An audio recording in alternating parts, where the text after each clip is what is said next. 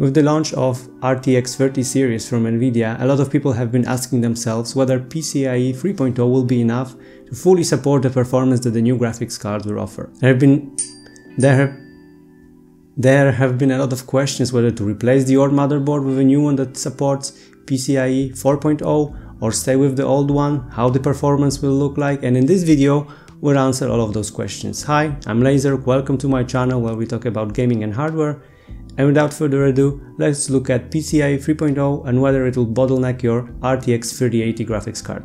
First of all, let's answer the question of what exactly is a PCIe port. And by the way, if you need an answer for that question, you should probably avoid building your own computer. In short, PCIe port is where you plug your graphics card or your uh, NVMe flash disks PCIe stands for Peripheral Component Interconnect Express, which is a standardized way for manufacturers to build expansion cards, additional cards for your PC. It's like a unified way to build something that will work on every computer out there. And graphics cards, flash disks, and NVMe disks are using the standardized way to connect to your motherboard, to connect with your PCU, RAM, and everything inside of it. Over the years, there have been many iterations of the PCIe ports and the most common right now I think is the PCIe 3.0. It has been with us for almost 10 years now. Only in 2020 did uh, AMD release a CPU that fully supports PCIe 4.0 and at this stage I think it's worth mentioning that PCIe 4.0 is not yet fully supported by Intel CPUs.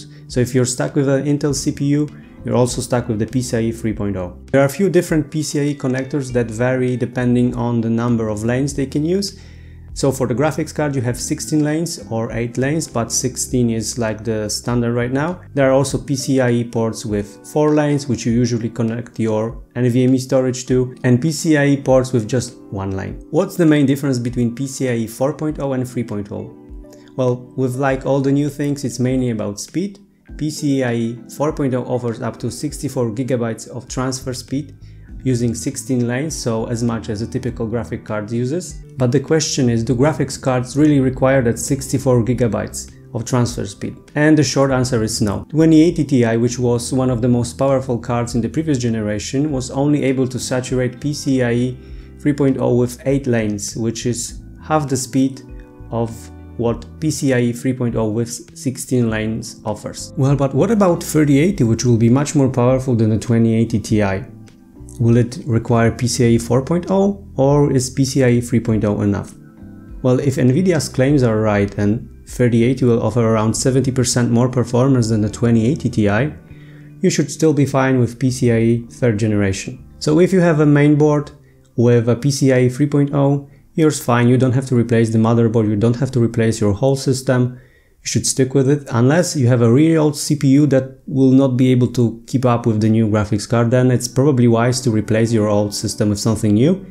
And then it's also probably a good choice mm, to invest in a PCIe 4.0 motherboard which will make you a bit more future proof in case anything new comes out. For example a more powerful RTX 3080 Ti or 3080 Super or whatever it will be called and it will also allow you to use more powerful NVMe disks that are probably going to hit the shelves pretty soon. At this moment, Intel does not support the 4.0 standard yet, so if you really want to invest in the 4.0 PCIe standard, then you're kind of stuck with AMD. There is also one more thing that can affect your overall system performance.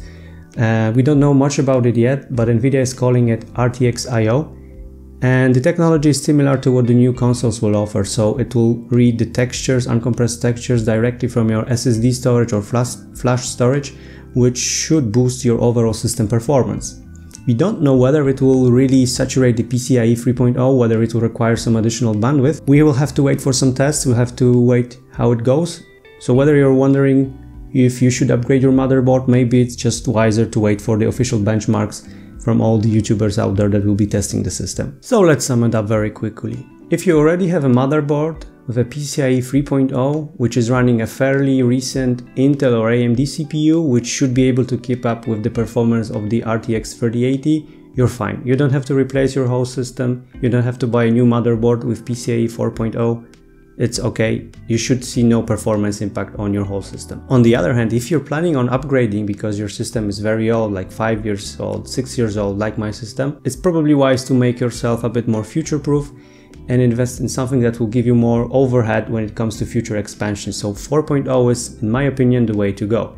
And right now you can only go for 4.0 with the AMD line of CPUs.